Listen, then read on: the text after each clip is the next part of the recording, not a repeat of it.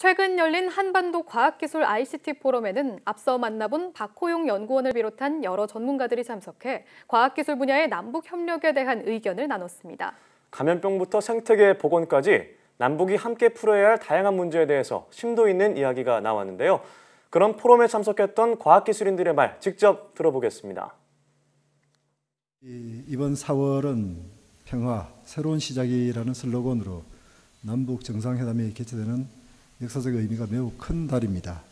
남북 정상회담을 통해서 남북 간의 평화와 협력 여건이 성숙되면은 내년 과학의 달에는 이러한 남북 과학기술 어, 한반도 과학기술과 ICT 포럼이 우리 여기 과천이 아니라 평양, 뭐 나아가서는 뭐 신의주 이런 데서도 개최될 수 있기를 개인적으로 바랍니다. 어, 아마도 협력 사업을 어떤 분야에서 하는 것이 가장 서로에게 도움이 되겠는가 이것은 앞으로 계속 더 논의해야 될 일이라고 생각을 합니다. 이제 정상회담 이후에 남북 관계의 상황 전개를 보면서 과학기술 협력의 방향 그리고 과제를 도출하고 과학기술 단체 공동으로 남북 민간 과학기술 협의회를 운영하고자 합니다.